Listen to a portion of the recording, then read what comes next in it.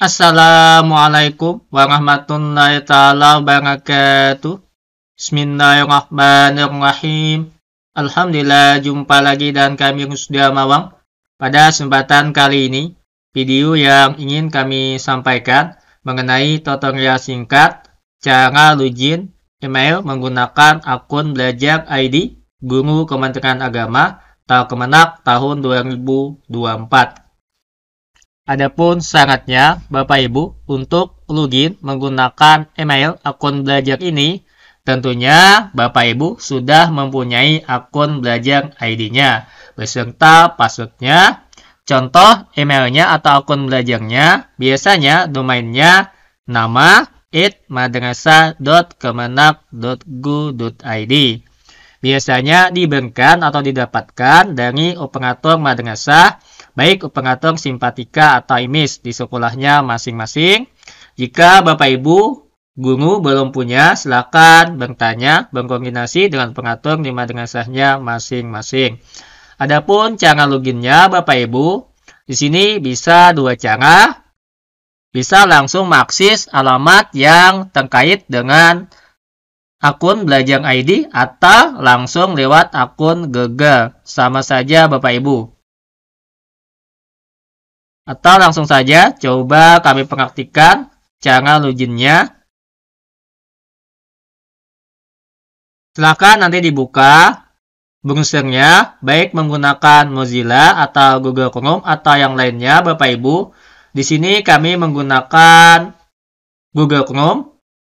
Cara pertama Bapak Ibu bisa langsung mengakses suatu link atau alamat yang menautkan dengan akun belajar ID untuk loginnya. Contohnya seperti ini Bapak Ibu. Langsung saja diambil linknya atau dimasukkan. Salah satu contoh link ada di bawah deskripsi video ini yang harus memasukkan akun belajar untuk login. Tinggal di copy paste Bapak Ibu ke browsernya seperti ini. Copy paste di bagian atas. Linknya tadi Klik masuk dengan akun belajar ID. Silahkan nanti ke bagian bawah Bapak Ibu, biasanya gunakan akun lain jika belum pernah login sebelumnya. Atau cara kedua untuk login bisa lewat akun Google Bapak Ibu. Coba kita contohkan Bapak Ibu dengan login lewat akun Google-nya. Kita buka terlebih dahulu tab baru.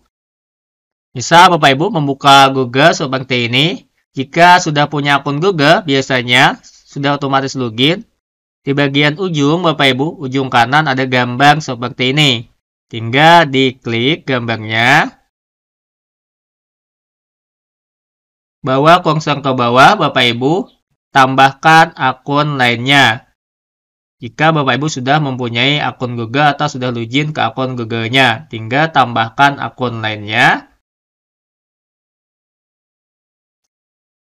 Nanti kita juga akan dibawa menggunakan akun lain seperti yang kami contohkan di awal tadi Bapak Ibu ini.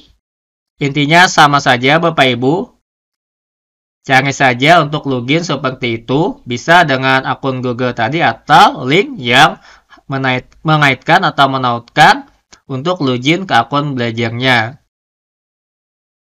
Setelah seperti ini Bapak Ibu, tinggal kita klik gunakan akun lain. Di sini kami menggunakan bahasa Indonesia. Jika bahasa Inggris, disesuaikan nanti bahasanya.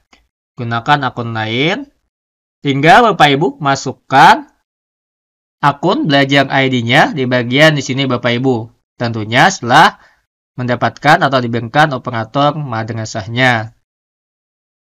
Coba kami contohkan salah satu akun belajar ID.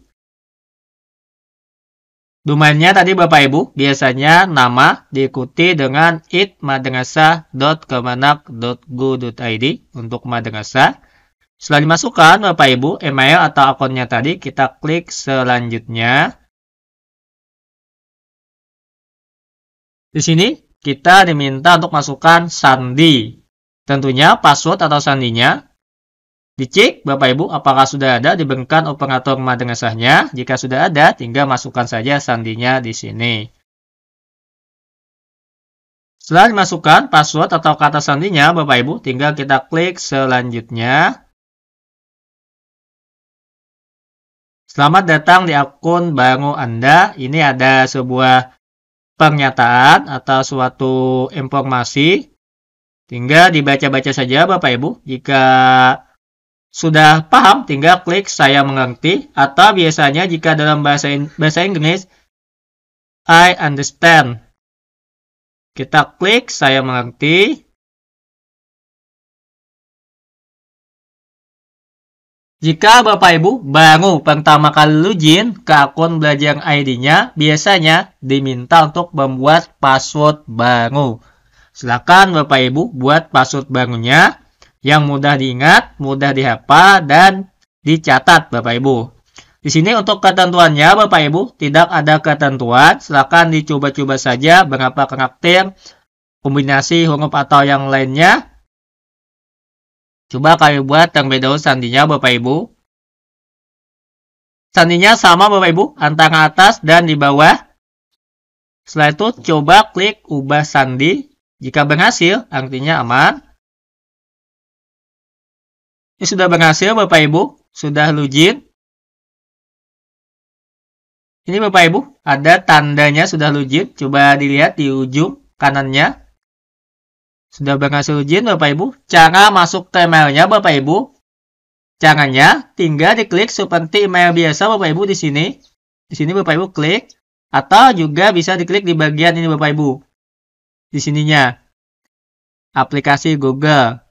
Coba kita buka. Kita masuk. Kita bawa ke Gmailnya. Klik Gmailnya Bapak Ibu.